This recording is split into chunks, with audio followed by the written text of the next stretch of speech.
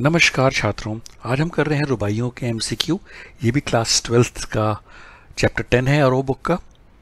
लगभग 45 एमसीक्यू हैं, इसलिए मैंने थ्री पार्ट्स या तीन भागों में डिवाइड किया है 15 एमसीक्यू ईच ये पार्ट वन है। आशा करता हूँ आपको मेरे वीडियोस पसंद आ रहे होंगे। कुछ भी कमेंट करना है सजेशन देना है, आप प्लीज़ मुझे बताइए, मैं उस पर अमल करूँगा। शुरू करते हैं पार्ट वन प्रस्तुत कविता में प्रयुक्त शब्द गेसों में का क्या अर्थ है? पैरों में, घुटनों में, बालों में या हाथों में? बच्चों, इसका मतलब है बालों में। फिराक गोरखपुरी का जन्म कब हुआ था? सन अठारह ईस्वी में, सन अठारह में, या अठारह में, या अठारह में? सही जवाब है 1896 यानी कि सन अठारह ईस्वी में। प्रस्तुत कविता में माँ बार बार हवा में क्या उछालती है? फल को, गेंद को, कपड़े को या बच्चे को, बच्चों, इस कविता में माँ बार बार हवा में बच्चे को उछालती है। माँ बच्चे को नहलाने के बाद क्या करती है? काजल लगाती है, जूते पहनाती है, कंघी करती है या तेल लगाती है? तो बच्चों, इसका सही जवाब है, कंघी करती है।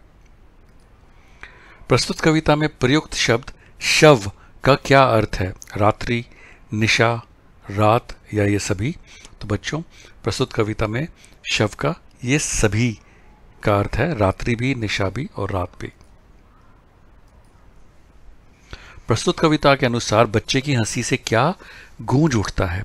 घर का द्वार, संपूर्ण वातावरण, संपूर्ण व्यक्तित्व या आँगन?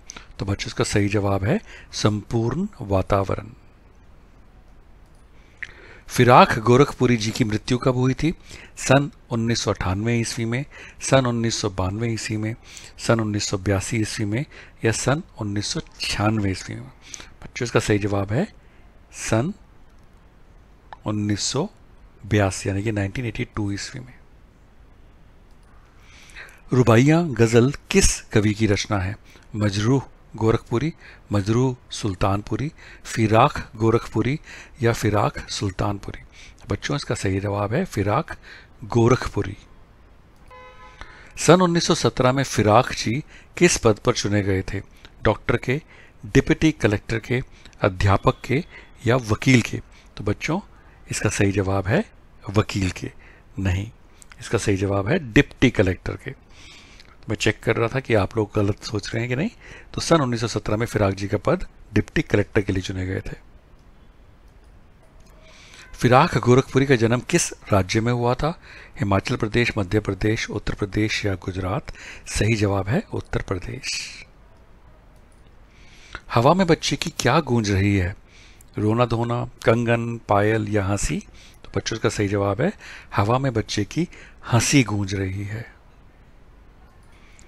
फिराक गोरखपुरी किस भाषा के महान शायर थे? हिंदी भाषा के, उर्दू भाषा के या फारसी भाषा के? तो बच्चों, जो इसमें ऑप्शन हैं ए ऑप्शन है उर्दू भाषा और बी ऑप्शन है फारसी भाषा। और सी ऑप्शन है हिंदी भाषा। तो जो फिराक गोरखपुरी जी हैं, वो उर्दू भाषा के और फारसी भाषा के दोनों के ही महान शायर थे। तो इसलिए ए और बी दोनों। प्रस्तुत कविता के अनुसार माँ अपने प्यारे बेटे को कहाँ लिए खड़ी है? घर के आँगन में, घर के मंदिर में, घर के द्वार पर या घर की छत पर? तो बच्चों, इसका सही जवाब है घर के आँगन में। रुबाइया कविता में किस रस का प्रयोग किया गया है? शांत रस का, वीर रस का, करुण रस का या वात्सल्य रस का? तो बच्चों, इस कविता में वात्सल्य रस का प्रयोग किया गया है। और बच्चों, ये पार्ट वन का आखिरी एमसीक्यू है। आशा करता हूँ ये आपको हेल्प करेगा और आपको वीडियो अगर पसंद आया हो तो लाइक ज़रूर कीजिएगा। रुबाइया कविता किस काव्य संग्रह से संग्रहित है? शहीद, बज़ में ज़िंदगी, विश्व, शांति या गुले नगमा? तो बच्चों, इसका सही जवाब है गुले नगमा। और बच्चों I wish you all the success and good luck for your exam and life. Thank you for watching this video.